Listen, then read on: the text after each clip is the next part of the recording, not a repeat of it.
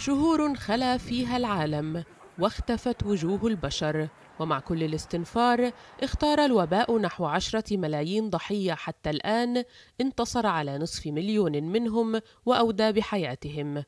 نحو سبعة أشهر من المواجهة المفتوحة والبلدان المغلقة.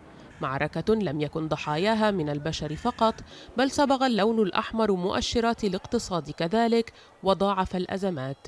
من بؤرة إلى أخرى تنقل فيروس كورونا فكانت البداية من ووهان الصينية تلتها الصدمة الأوروبية ثم التفشي الواسع في أمريكا الشمالية فاللاتينية. لتستحوذ القارات الثلاث على نحو 75% من إجمالي الإصابات وبنسب تساوية تقريباً. بينما سجلت الإصابات في قارة آسيا نحو 11% وفي منطقة الشرق الأوسط 9% تقريباً ومن اللافت أيضا أن أعداد الوفيات بالفيروس في سبعة أشهر تقارب أعداد ضحايا فيروس الإنفلونزا ولكن في عام كامل كيف وصلنا إلى هنا؟ وهل كان باستطاعتنا تجنيب الملايين هذا المصير؟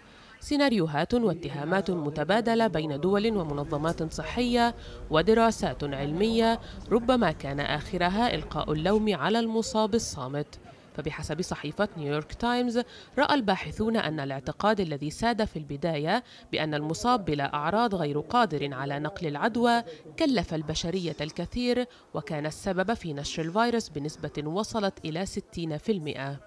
وخلال شهور الإغلاق تراجعت أعداد الإصابات ومؤشرات الاقتصاد معا ولم تجد الكثير من البلدان مفرا من إعادة فتح أبوابها. إلا أن المخاوف عادت مع ارتفاع منحنى الإصابات من جديد وسط تحذيرات منظمة الصحة من موجة ثانية تجرف معها حياة الملايين. كل هذا يضع العالم في حالة ترقب وعينه على مطور اللقاح. فنجاحهم يعني إسدال الستار على مشاهد قبور الوباء وإعادة الحياة للأحياء.